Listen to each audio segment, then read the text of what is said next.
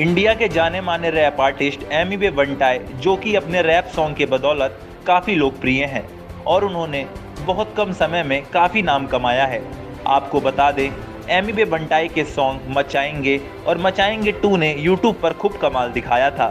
मचाएँगे को अभी तक यूट्यूब पर 200 मिलियन से ज़्यादा बार देखा जा चुका है और मचाएँगे टू को 380 मिलियन से ज़्यादा बार देखा गया है। इससे आप अंदाज़ा लगा सकते हैं कि उनके इस गाने को लोगों द्वारा कितना प्यार मिलने वाला है। आपको बता दें, इस सॉन्ग को एमी वे बंटाई ने गाया है और लिखा भी है और म्यूज़िक टोनी जेम्स ने दिया है। अब देखने वाली बात यह है कि क्या उन दोनों सॉन्ग की तरह इस गाने को भी लोगों द्वारा प्यार मिलता है।